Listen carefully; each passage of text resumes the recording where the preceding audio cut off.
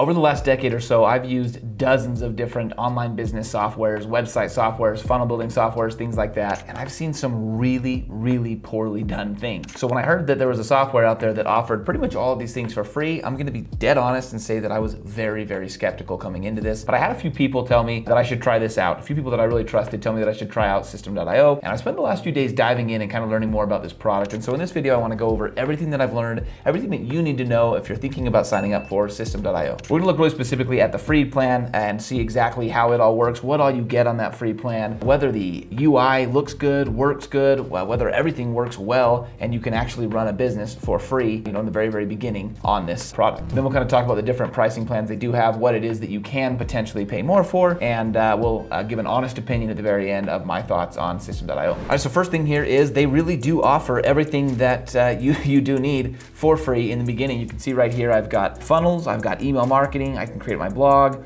I can create a website inside of my funnels. I've got all kinds of automations that I can use that connect my funnels and my emails and all that stuff. I can add products, digital products and regular products. I can create courses inside of here. I can create communities inside of here. I can run my own affiliate program, invoices. So, so far it seems like I've got options for pretty much everything inside of this. So we're gonna look specifically at a few different things and uh, see what they look like, see how the UI works and if everything actually functions as it's supposed to. Right here we're looking at the funnels. Um, when I go in to build a funnel, you can see I can easily build a funnel. It shows the funnel on the left, essentially what's happening, the steps of the funnel on the left right here. And then you can do all kinds of things with automation, A-B testing, see stats, see sales, leads that came through here. I really love that you could set deadline settings where you can say, hey, I'm, this is a sale, right? This is gonna be over in a few days. And so I want this funnel to end and then send them somewhere else at the end or something like that. So I'm here inside of the actual editor and it's very similar to a lot of different drag and drop editors that I've come across, uh, which is good because uh, if you've been in the, the business or the drag and drop editor business for a while, you can easily pick up on how it all works. You can see it's got columns, it's got sections. You create a section and then inside of that section you create a row and then inside of those rows you add all these different elements right here. You can see different things like forms and text and images and things like that. Now a couple things that I really like about this, you can see there's a back button. I love having a back button where I can mess up and easily fix exactly what I did. It also has a mobile and a desktop version that I can easily swap between. And when I go inside of each element, I can easily check or uncheck desktop or mobile. All right, now when I go into my emails, the main email section doesn't have, so I use ActiveCampaign for my main email, and you can see right here, uh, I can, I can create email sequences, I can create delays where the emails will go out one after the other, and it can be sent at specific times, you can have it not send on specific days. I really love actually that it's all just sitting here on the right, so I can create my email, create all the rules really quickly that go along with that email.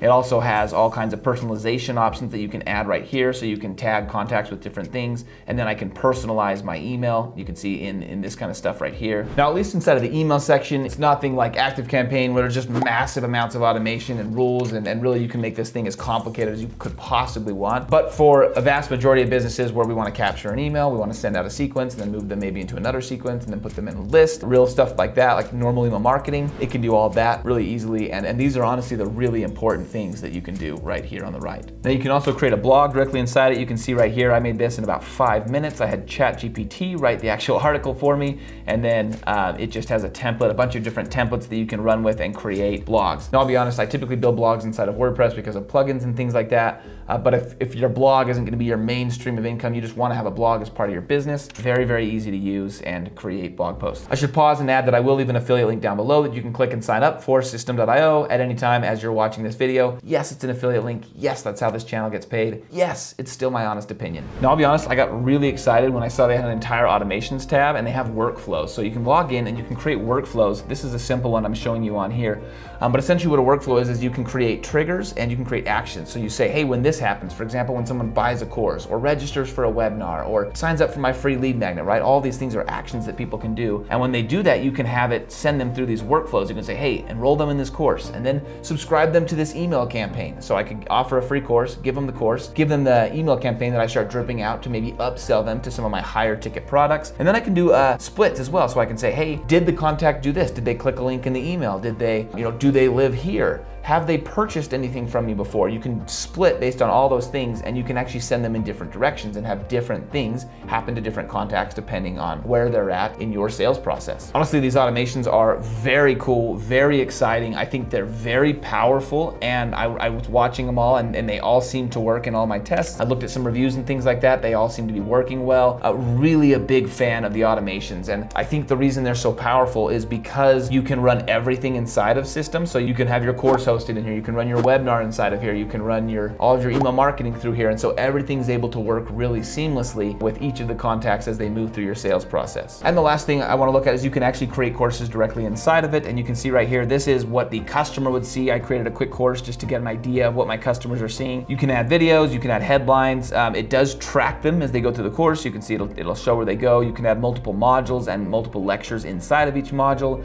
Then you can add text and links and kind of overviews under it. So I use Thinkific for my courses typically. Thinkific's got a million options, right? It's like all it's built around. But if you wanna be able to just create a course, have modules, have people be able to you know, sign up easy, track what they're doing through it, get access to video and text content. This is great, can totally do it and work seamlessly inside of every other part of your business. Now going over the overall UI, I really enjoyed the UI. The one downer I would say, sometimes it seems to take a few steps to do things that I wouldn't necessarily want to take a few steps. So you, you kind of have to go in multiple times to see blog posts and then you can see each blog post gets activated or deactivated separately. Sometimes I would want to kind of mass edit and mass do things like that. But besides a few extra steps occasionally. It's a very easy to use layout. You can see right here, I can always figure out how to like create things and how to, you know, everything just looks really simple and really easy to use. So if you're a beginner and you're kind of overwhelmed a lot of times by technology, I think it's uh, really well built for that. A couple other things that I dug a little deeper into. I went to Trustpilot to see how their customers feel about them.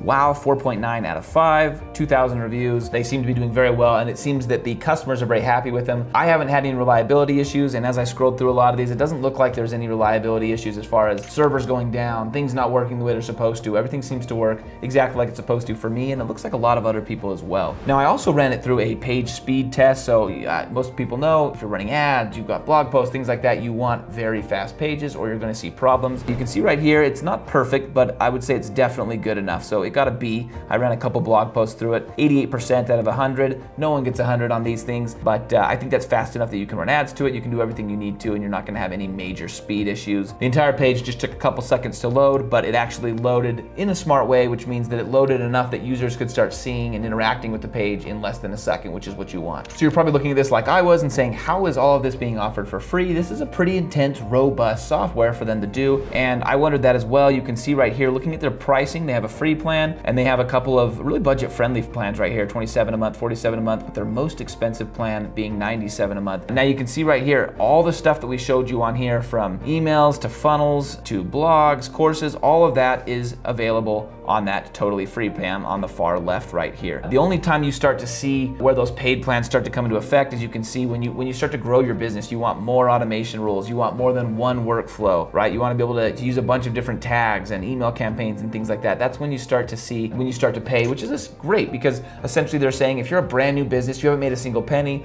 you know, you're on your first funnel, you can use this free plan and start building. And once you start making money, then you start to grow and add options, add new funnels, add new workflows, tags, contacts, and that's when you start to pay. And I really like that pricing model where they're letting beginners pay nothing while they kind of learn the ins and outs of the business. And once a business starts to grow, then you start to pay. The only thing I didn't see on the free plan was webinars. So if you are running webinars, you would need to upgrade to that webinar plan right there, which would be $47 a month, which is still really good if you're running webinars. You're probably making a lot more than $47 a month. There will be an affiliate link again down below that you can sign up for. And thanks so much for watching this video.